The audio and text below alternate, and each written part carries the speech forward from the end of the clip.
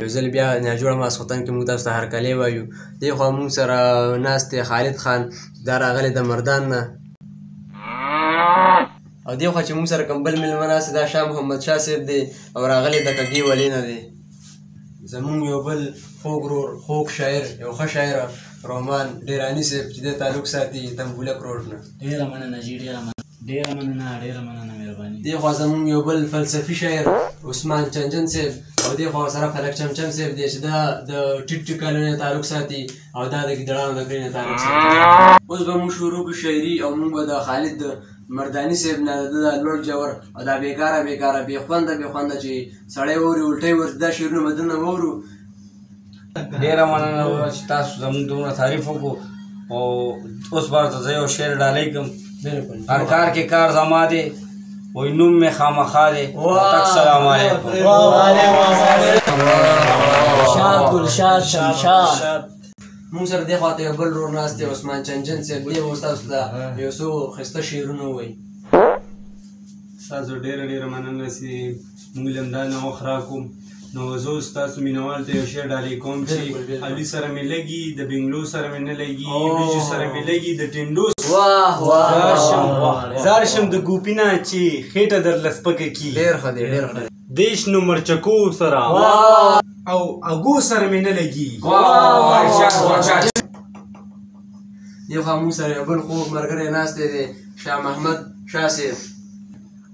پکړګنج څه پکې وایم امي مجھے نه آتی زبا ته یو شعر وایم امي مجھے کیا ہوا ہے زما ته یو شعر ډیر بیٹا ټټی کر کے آو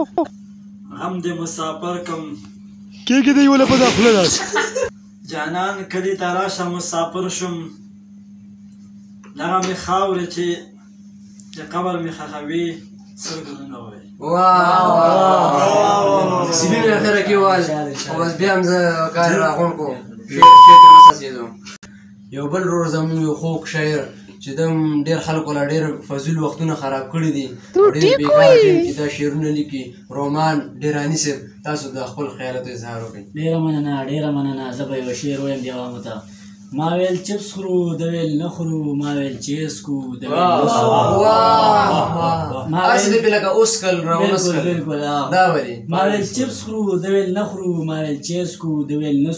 کو ما ویل څه خورو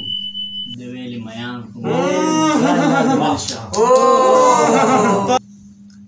ته خو مونږ نه شاعري اورې خو په خپل هم پکې ته څه وایې جي شیخه د وخت نه مخکې مه دنګه لوړ جوړ ما ولیکل وختي ما یو خپل شعر لیکلی به ته زه ویم چې درکې چې درکې در لخوند نو دې ته وایي نشه چې درکې در لخوند نو دې ته وایي نشه چې دې وپړسئ پنډۍ نو دې ته وایي چوکا بیا دې خوشې کا چې دې وپړسې پنډۍ نو دې ته وایي چوکا او دا بعضې خلک هسې په سیندونو پسې ګرځي مان صاحب ډېر ښه ډېر ښه دا بعضې خلک هسې په سیندونو پسې ګرځي په ګنده نهر کې چې ولامبي نو دې ته وایي مزه او رېګت موږ سره یو درون یو سپک یو ښایسته هلک فلک چمچم صاحب ناست دی به ته یو شعر وایي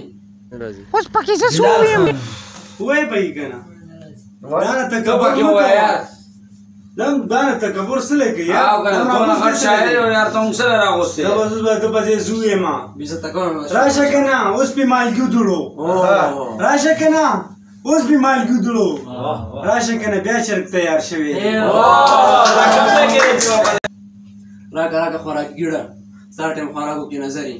بل څه کار دی نه زمونږ یو درون خوږ ملګری ایوب بنګالي صاحب چې هغه نشته ډېر زیات مصروفیات یې تللی انډونیشیا کې یو د هغه د کنان مشاعره د هغې له تللی دی او بس دې وخت کې د مشاعرې اختتام به وکړو نور ویډیوګانو لپاره زموږ چینل سبسکرایب کړئ والسلام